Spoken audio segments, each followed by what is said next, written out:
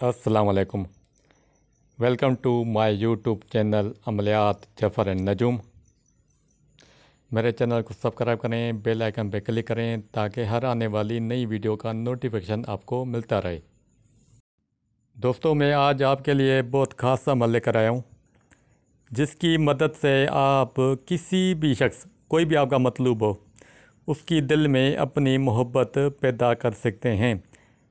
मिसाल के तौर पे वन साइड मोहब्बत होती है।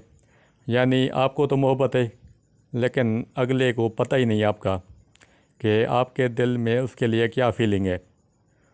तो ये वन साइड मोहब्बत के लिए बेहतरीन है। या फिर आप किसी भी लड़की से शादी करना चाहते हैं और आपके दिल में उसके लिए मोहब्बत है, लेकिन जिससे आप शादी करना चाह रहे हैं, उसको पता ही नहीं है आपका। कि आप मुझसे मोहब्बत करते हो कि नहीं करते? या उसके लिए, उसके दिल में आपके लिए कोई फीलिंग वगैरह नहीं है? या लड़का हो, कोई लड़की, लड़के से मोहब्बत करती है, उससे शादी करना चाहती है, उसको ये पता नहीं है कि वो मुझे पसंद करता है कि नहीं करता। तो ये यानी कि फ़र्स्ट टाइम मोहब्बत पैदा करने के लिए ये अमल किया जाता है। ये अमल रुक रफत कायदे का है। ये रुक रफत कायदे के हवाले से मैं आपको बताऊँ कि जैसे लोहा मगनातीस को खींचता है, इसी तरह जो करने वाला है तालिब, वो अपने मतलूब को, उसकी दिल को इसी तरह खींचता है अपनी मोहब्बत में। बहरहाल मैं इसका तरीका बताता हूँ आपको। सबसे पहले आप अपना नाम, माँ वालदा, उसके अदद निकालेंगे और जिसके लिए आप मोहब्बत के अमल करना चाह रहे हो तो उसकी और उसकी वालदा के अदद कमरी निकालेंगे। आपको स्क्रीन पे कमरी चार्ट नज़र आ रहा है। तो जैसे इसमें लिखे हुए हैं, हुरफ लिखे हुए हैं और उसके नीचे अदद लिखे हुए हैं। तो जो आपका नाम है, उसका जो हरूफ है, वो लेंगे और उसके नीचे जो अदद हैं, वो आपको लेने इसको टोटल करेंगे और अपने हिसाब से लिखेंगे। मैं आगे आपको एग्ज़ाम्पल दे रहा हूँ।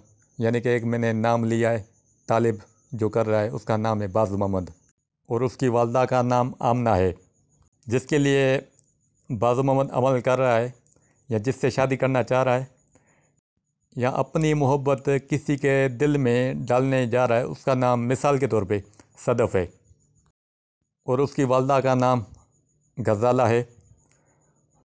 तो हम चार नाम, यानी कि तालिब वालदा, मतलूब वालदा के अदद लेंगे। और उसमें रुक रफत के भी अदद लेंगे। मैंने अदद लिए हुए हैं। ये बाज़ मोहम्मद के अदद जो टोटल बनते हैं, वो हैं 102 और उसकी वालदा के अदद आमना, जिसके छियानवे, नाइन्टी सिक्स और जो रुक है, उसके अदद 220 बनते हैं। ये टोटल हो गए चार सौ अठारह, ठीक है ना? तो जो हमारा मतलूब है, जिसके लिए हम अमल तैयार कर रहे हैं, उसका नाम है सदफ़ सदफ़ के अदद एक सौ चौहत्तर हैं और उसकी वालदा का जो नाम है, वो है गज़ाला, जिसके अदद एक हज़ार उनतालीस। और जो रफद है, उसके अदद दो सौ चौरासी, टू एटी फोर। ये टोटल चौदह सौ सतानवे हुए, वन फोर नाइन सेवन। यहाँ तक इस अमल का एक हिस्सा मुकम्मल हुआ। अब नक्शे बनाने की तरफ़। सबसे पहले आप दो अदद वाइट पेपर लें और उस पर ज़ाफ़रान की कलम से ये दो अदद नक्श बना लें। इसमें आप रिजल गैप का ख्याल रखेंगे। रिजल गैप को सलाम करके उसके पीठ पीछे आपको बैठ जाना है। जिस जगह आप अमल कर रहे हैं, वो जगह पाक साफ़ होनी चाहिए। आप बावजू हो और कोई भी इतर आप लगा लें जिसम पे और अगरबत्ती जला लें। कमरे में शोर शराबा ना हो, ना कोई आपको डिस्टर्ब करे। सारा फोकस आपका इस अमल पे होना चाहिए।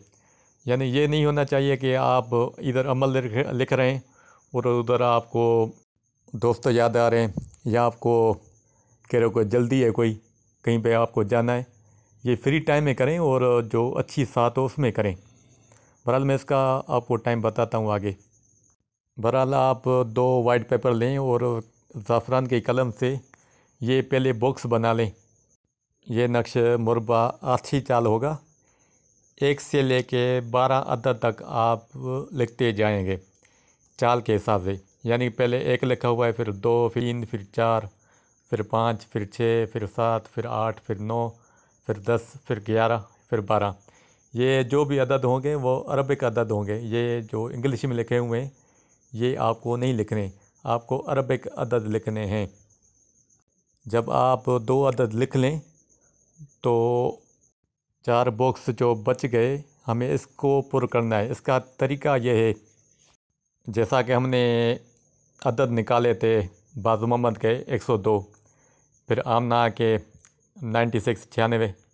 फिर उसमें रुक के अदद मिलाएँगे 220 ये जब हमने बाज मोहम्मद के 102 आमना के छियानवे और रुक के अदद 220 मिलाए तो ये हो गए हमारे पास 418 इसमें से हम 20 अदद काटेंगे तो हमारे पास जवाब आएगा तीन सौ सतानवे इसको हम तेरहवें खाने में रखेंगे, जहाँ पे तीन सौ सतानवे लिखा हुआ है।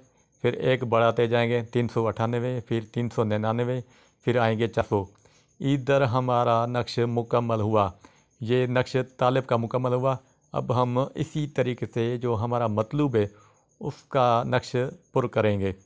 जैसा कि सदफ़ का जो अदद है, कमरी, वो एक सौ चौहत्तर है और गज़ाला का एक हज़ार उनतालीस और रफ़द उसमें मिलाएँगे, दो सौ चौरासी। इसको जब हमने टोटल किया तो ये हमारे पास जवाब आया वन फोर नाइन सेवन इसी में से हम इक्कीस अदद काटेंगे और जो हमारे पास मीज़ान बचेगा वो होगा वन फोर सेवन सिक्स अभी जो वन फोर सेवन सिक्स है, इसको हम तेरहवें खाने में रखेंगे। वन फोर सेवन सिक्स फिर अगले खाने में एक बढ़ाएँगे। वन फोर डबल सेवन फिर वन फोर सेवन एट फिर वन फोर सेवन नाइन। अब हमारा जो मतलूब है, जिसके लिए हम अमल तैयार कर रहे हैं सतफ़ के लिए, उसका नक्श भी कंप्लीट हुआ। नक्शे के नीचे अपना मकसद लिखेंगे, यानी कि यह मोहब्बत के हवाले से। तो जो मतलूब है हमारा सदफ़, उसका पहले नाम लिखेंगे। सदफ़ बिनते गज़ाला, फिर अपना मकसद, मोहब्बत करे, शादी करे, निकाह करे, जो भी है। फिर जो हमारा तालब है, उसका नाम बाज़ मोहम्मद बिन आमना। या अगर लड़का या लड़के के हवाले से अगर कोई लड़की कर रही है किसी लड़के के लिए तो पहले उस लड़के का नाम आएगा, फिर उसकी वालदा का नाम आए, आएगा, फिर अपना मकसद लिखेंगे, फिर उस लड़की का नाम आएगा। और जो लड़की है, उसके लिए बिनते यूज़ होगा। और जो लड़का है उसके लिए बिन इस्तेमाल होगा।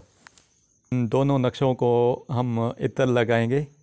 कोई भी आप खुशबूदार इतर लगाएँ और इसको बखूर लूबान का देकर लेमिनेशन करके जो हमारा तालिब था, उसका नक्श, जो हमारा मतलूब है, यानी कि बाज़ मोहम्मद वाला नक्श, जो मतलूब सदफ़ है, उसके घर में दफन करेंगे।